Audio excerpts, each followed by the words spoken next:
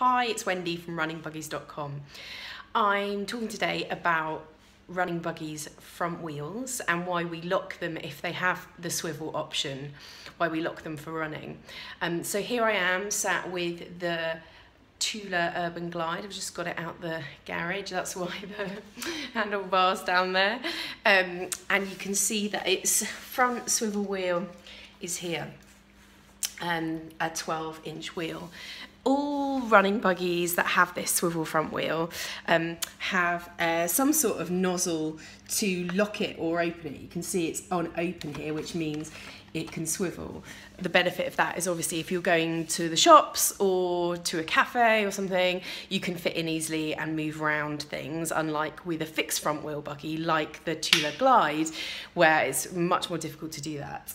So why do we need to lock it? Well, when you're running, you need stability at speed.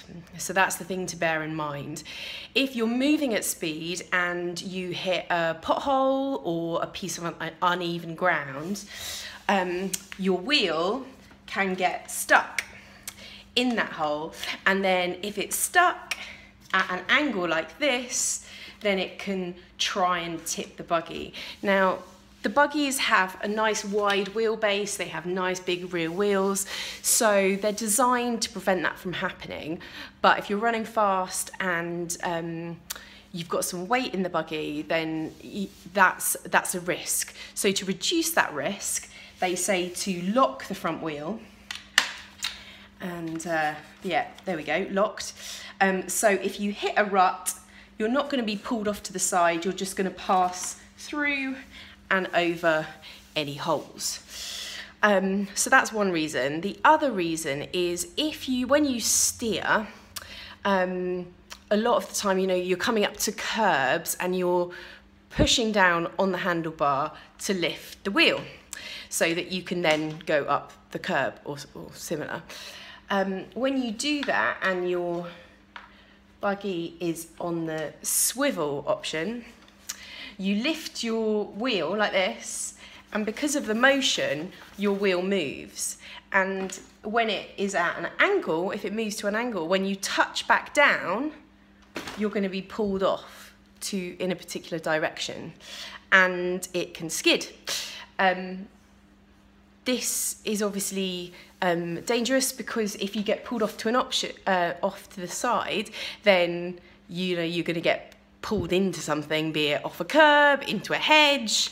Um, and again, because you're moving at speed, that's going to be unpredictable. So those are the two reasons why it's best to lock your front wheel when you're running. Um, if you were to run on a smooth bike trail, which is, you know, tarmac and there's no potholes, I know many people that do run with it unlocked.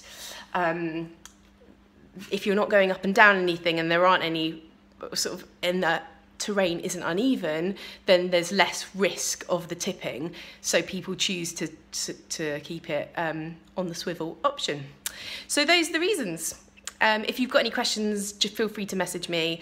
Um, I am a running mum of two, so I've run with multiple different running brands um, and can give you some advice if you need any. Um, you can contact me on wendy at runningbuggies.com or you can find me through my website, which is runningbuggies.com. Thanks. That is what happens when you don't lock your front wheel and you lift it up and it's good.